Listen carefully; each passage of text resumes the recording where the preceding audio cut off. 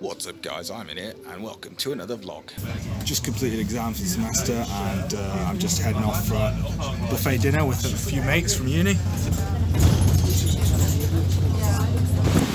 Right, we've arrived at Fallowfield and uh, we're eating at that buffet restaurant over there, Nayaab.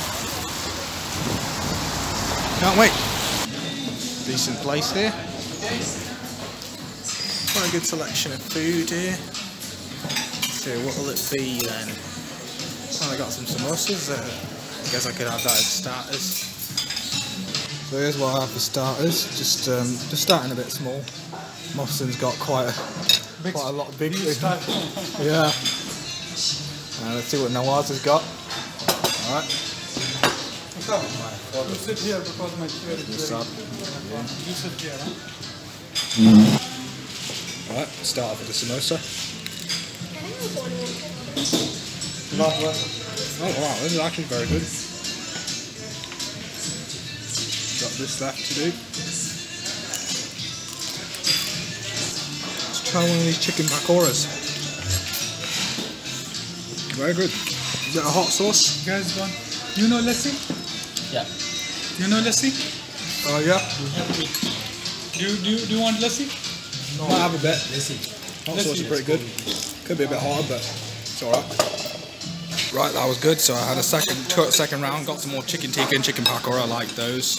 And uh, samosas there.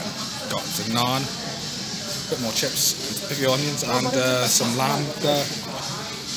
Achari. That was uh, looks really good. Everyone else enjoying their meal. Lemonade there.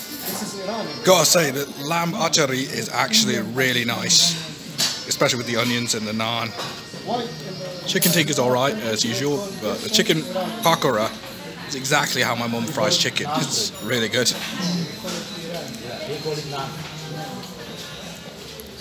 I don't know. Maybe Iran started in Arabic.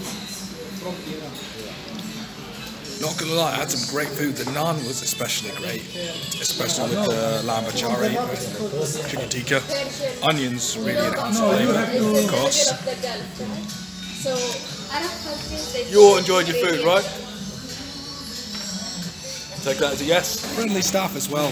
You had a nice conversation with us. So Something. This belongs to your country. definitely a five star on Google Maps. Got a try scoop of ice cream for dessert. Looks good. So I've got some vanilla, strawberry, and bubble gum. So I'm just gonna have a bit.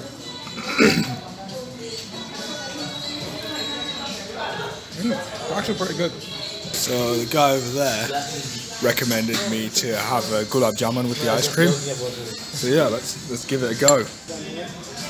Now he, he says, See what we're talking about? Nice combination of hot and cold. Overall, that was a great meal. Just finishing up, gonna get the bus home. Uh, see you guys in the next video.